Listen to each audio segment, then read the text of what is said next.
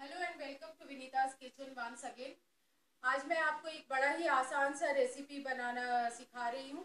ये धुली हुई लाल मसूर की दाल में हम बैंगन डाल करके बनाएँगे। तो ये बड़ा ही स्वादिष्ट डिश है और ये आप रोटी पराठा के साथ भी खा सकते हैं, सब्ज़ी की तरह, या फिर दाल जैसा चावल के साथ भी खा सकते हैं। तो चलिए देखते हैं इनके, इसके लिए हमें क्या क्या इंग्रेडिएंट्स चाहिए और ये कैसे बनता है।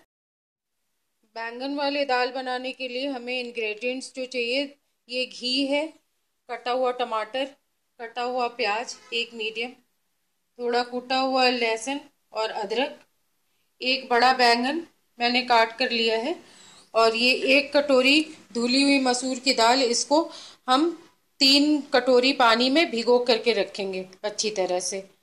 अब और इसके अलावा इसमें जीरा, हल्दी, नमक, मिर्च वगैरह जो मसाले लगते हैं, वो भी डालेंगे और गरम मसाले का तड़का लगाएँगे। तो चलिए सबसे पहले अब शुरू करते हैं दाल का बघार लगा के। ये घी में मैंने जीरे का तड़का लगाया है। अब ये गरम जीरा जब काला हो जाएगा, तब इसमें प्याज डालेंगे। अब ये जीरा जो है वो फूटने लगा है तो इसमें अब मैं ये कटा हुआ प्याज डाल दूँगी। एक मीडियम कटा हुआ प्याज। अब इसे थोड़ा भून लेंगे प्याज को। अब इसमें हम कूटा हुआ अदरक, आधा चम्मच और कूटा हुआ लहसुन जो है, वो भी आधा चम्मच डाल देंगे और पाँच मिनट के लिए फ्राई कर लेंगे। अब इसके बाद फिर हम इसे, इसमें टमाटर डाल करके थोड़ा भून लेंगे।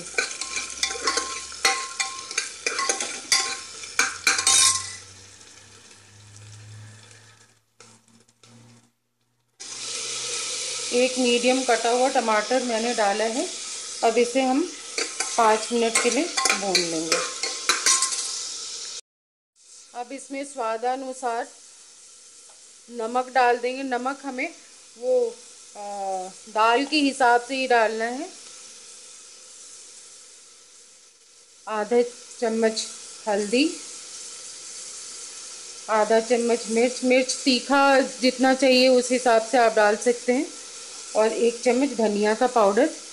अब इसको हम थोड़ा फ्राई कर लेंगे और इसमें कटे हुए बैंगन डाल देंगे। मैंने एक बड़ा कटा हुआ बैंगन लिया है। वैसे इस सब्ज़ी को आप चाहें तो दाल को आप कढ़ाई में भी बना सकते हैं, क्योंकि मसूर की दाल को भिगो के रखो तो बहुत जल्दी पक जाता है। और इसमें आप छोटे छोटे जो बैंगन होते हैं, उनको भी हाफ़ कट करके और दाल में डाल के यूज़ कर सकते हैं। मैं एक बड़ा बैंगन को काट करके ली हूँ। तो अब मैं इसमें बैंगन डाल दूँगी। अब इसमें मैंने बैंगन डाल दिया है और गैस को सिम करके इसको अच्छी तरह से थोड़ा भून लेंगे हल्का। कुछ देर इसे पकने देते हैं। थोड़ा मसाला भी भून जाए। फिर इसमें हम दाल डालेंगे और ऊपर से गरम मसाला डालेंगे। अब इसमें हम एक चम्मच गरम मसाला डाल देंगे और इसे वापस अच्छी तरह से मिला देंगे। अब ये मसाला देखिए अब भून गया है। तेल थोड़ा छोड़ रहा है।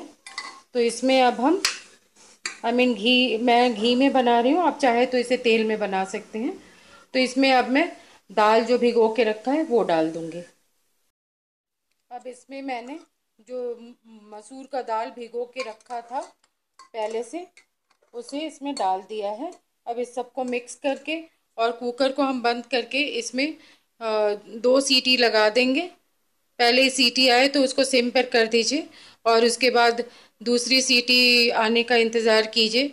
उसके बाद उसे आप कुकर को बंद कर दीजिए और आपका बैंगन वाला मसूर का दाल तैयार हो जाएगा। तो ये बैंगन वाला मसूर का दाल तैयार है गर्मा गर्म अब इसे आप थोड़ा धनिया से गार्निश कर लें। और इसे गर्मा गर्म सर्व करें। इसे आप रोटी पराठे के साथ भी खा सकते हैं और चावल के साथ भी खा सकते हैं। I hope you like my video अगर मेरा वीडियो पसंद आया हो तो इसे लाइक करें शेयर करें और सब्सक्राइब करें। चलिए फिर मिलते हैं एक और दूसरी रेसिपी के साथ। तब तक bye bye and thank you for watching my video